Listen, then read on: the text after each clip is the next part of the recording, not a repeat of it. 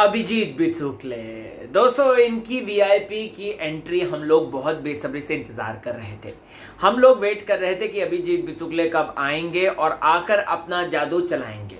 अब आप लोगों को बताना चाहता हूँ कि जैसा कि मैंने आप लोगों को बताया था कि संडे के दिन अभिजीत बिचुकले की एंट्री होगी और ऐसा ही होता है।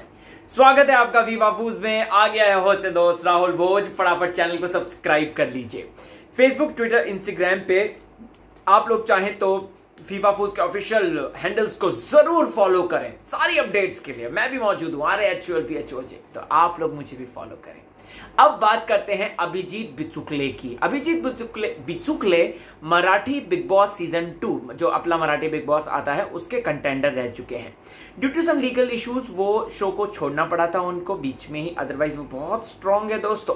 अभिजीत बिचुकले एक तरीके से वो कहते हैं ना कि आ, ये हैं एड़ा बनकर पेड़ा खाने वाले इंसान हैं। बहुत आ, सीधे भी हैं दिल के अच्छे भी हैं लेकिन जब गेम आता है तो सामने वालों को ऐसा मैनिपुलेट करते हैं ऐसा घुमा देते हैं कि वो बोलता है कि आई ये क्या है? मतलब मैं जा रहा था पूरब पहुँच गया पश्चिम मैं देख रहा था सूरज अब देखने लगा हूँ चाँद ऐसा टाइप का वो कर देते हैं।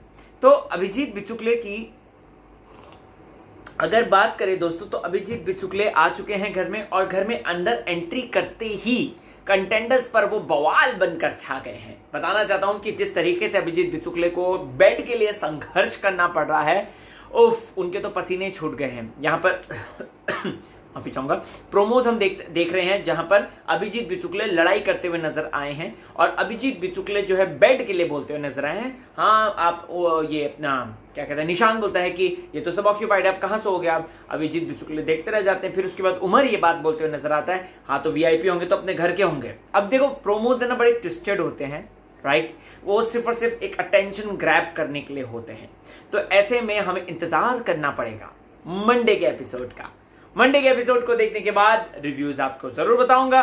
तो आप बने रहो चैनल के साथ देखते रहो फीफा वैसे एक है ना मराठी का मैं आपको बता दू तो मेघा धाड़े इससे पहले आई थी। मेघा धाड़े सीज़न 12 में आई थी जीत अपना उन्होंने मराठी सीज़न वन जीता था उसके बाद सीज़न 12 में आई थी हिंदी बिग बॉस के।